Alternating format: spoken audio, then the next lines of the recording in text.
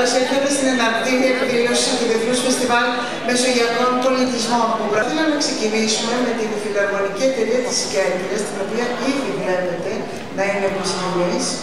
Θα ακούσουμε λοιπόν σε πρώτη εκτέλεση τον ύμνο του φεστιβάλ, του Φεστιβάλ Μεσογειακών Πολιτισμών, τον οποίο συνέθεσε ο κ.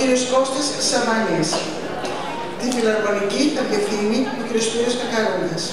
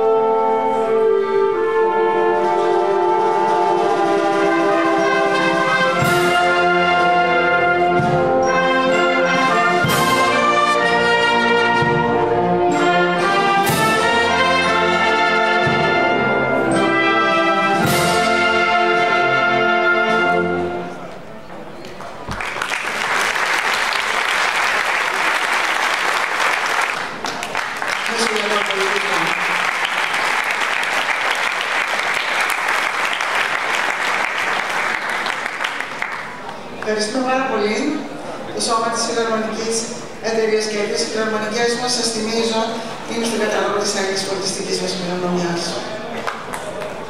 Έτσι, εδώ δεν